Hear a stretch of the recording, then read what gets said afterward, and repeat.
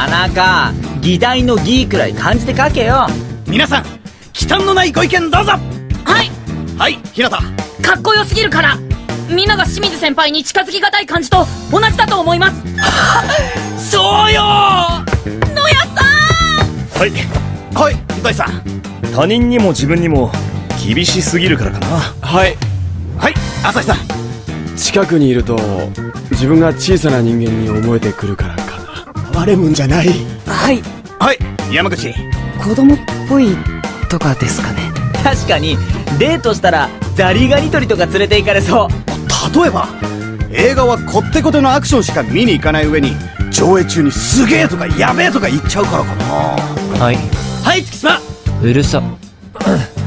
声が大きいから。うるさいって言おうとしたのバレバレなんだよ。はい。はい縁の下うるさいから。縁の下言いよった。あはいはい。影山。背が小さいから。その後影山の姿を見た者はいなかった。ガリガリ君おごらされただけだっつんだボケ